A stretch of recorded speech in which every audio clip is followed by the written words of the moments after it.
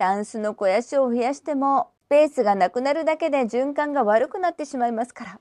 でもこれがあると自分のテンションが上がるなという服や靴などは捨てずに持っていても OK。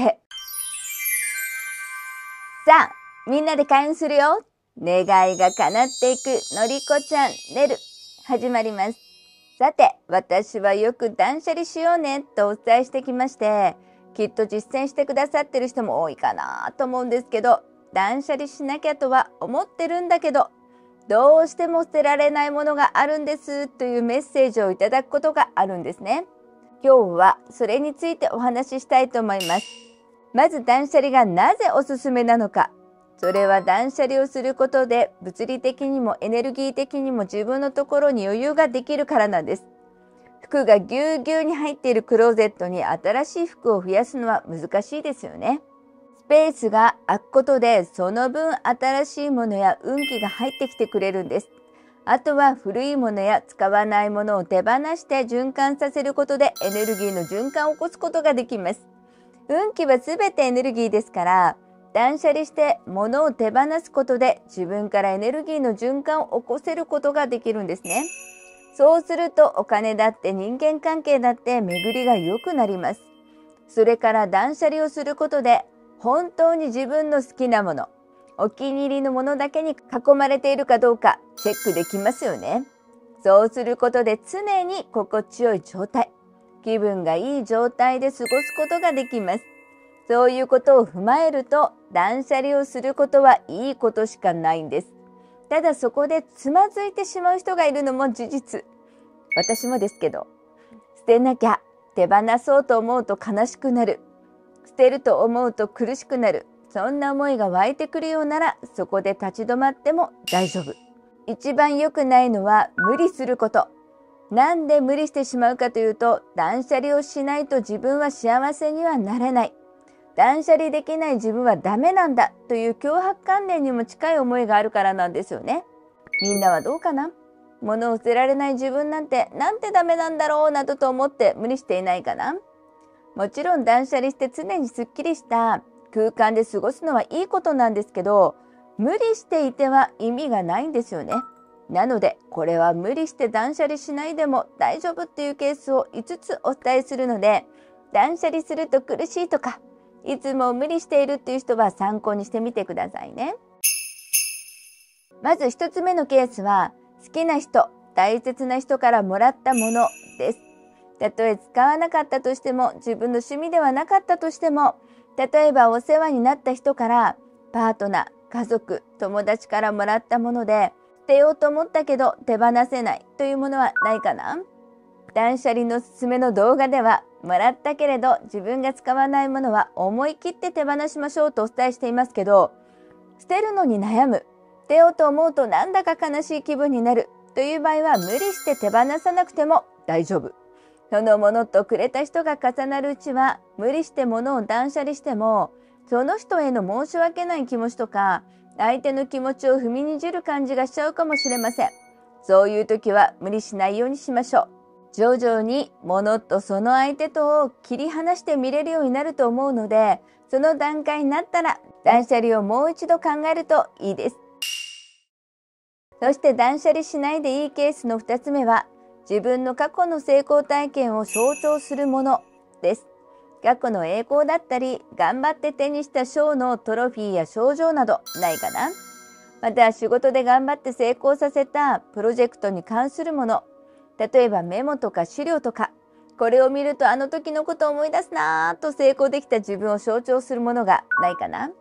過去にばかりとらわれていると、ここから先の新しい自分への挑戦がしにくくなることは確かにあります。だからといって過去のものだからとバンバン捨ててしまうことに抵抗があるようであれば無理して断捨離しなくても大丈夫です。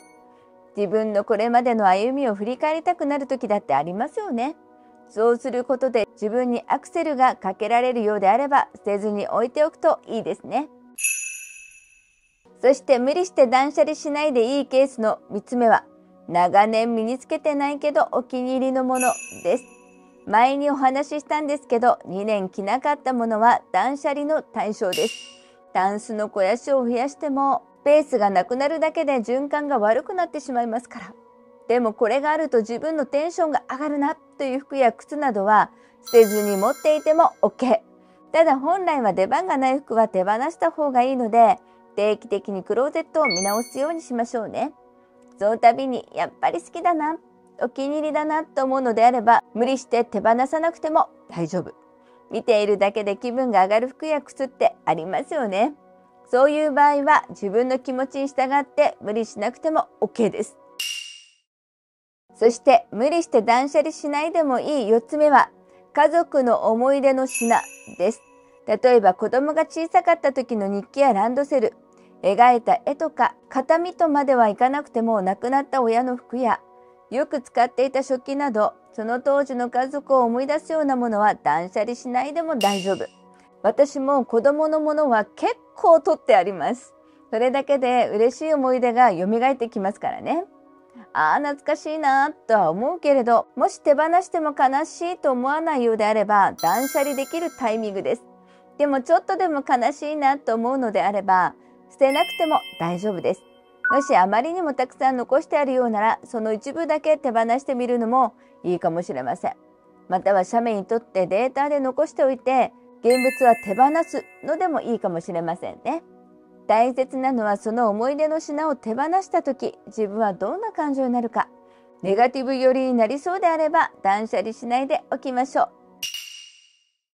そして無理して断捨離しなくていい5つ目のケースはドライフラワーです。ドライフラワーってもともとは生きていたお花だけど今は命がないものですよね。でも例えばすごく思い出の花束とか結婚式の時のブーケをドライフラワーにした場合などは捨てたくないかもしれません。ドライフラワーはそのまま使うのではなくてドライフラワーが好きという方だったり捨てたくないものはハーバリウムにしたりキャンドルにしたり蓋付きの瓶の中に入れて飾るとか写真立てや額縁に入れて飾るなど何かに入れて飾るのがおすすめです。あと唯一飾っていい場所があるんですね。それは西日が差す窓辺に飾るといいですから、埃がつかないことが大事です。というね、今日は無理して断捨離しないでいいケースを5つお伝えしました。悩んで捨てられない。断捨離したら悲しい。そういう場合は無理しないで自分の気持ちを大切にしてあげてください。みんなもこれが捨てられない、取っておきたいっていうものがあったらコメント欄で教えてね。楽しみにしてます。それではみんなで最高のハッピーを手に入れようね。おまけ。いつもみんなありがとね。今日はご質問があったのでお答えします。のりこさんいつもありがとうございます。独身時代から持っているバッグで旦那の実家の火事で焼け残った旦那曰く強運バッグがあるのですが本当に強運バッグ使ってないし断捨離すべきと悩んでいます。このバッグはどうすべきでしょうか？ありがとうございます。すごい強運バッグですよね。まずご自分がどうしたいかということが一番大事です。私だったらですよ強運バッグは取っておくと思いますね。こういうものってあるんですよ。なぜか隠れたパワーグッズが。何か使えるようにしてあげるともっとパワーを発揮するかもしれないのでたまに使ってあげるといいですね。じゃあね